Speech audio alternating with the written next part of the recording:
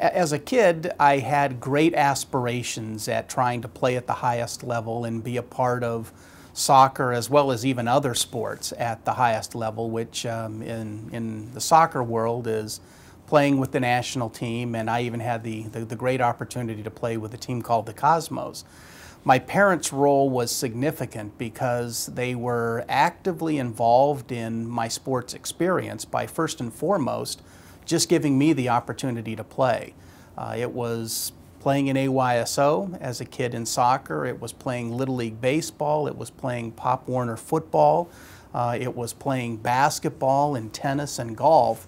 And my parents were big believers that the sports experience was something that was wholesome and healthy for kids, me in particular, and were always very supportive. They were the type of parents that were very encouraging.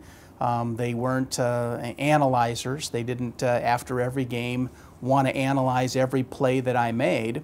And one of the most distinct memories that I have is when I first started playing soccer, I came off of the field after my very first game and had scored six goals in a game that my team lost six to three, which means I scored three for my team, but three for the other.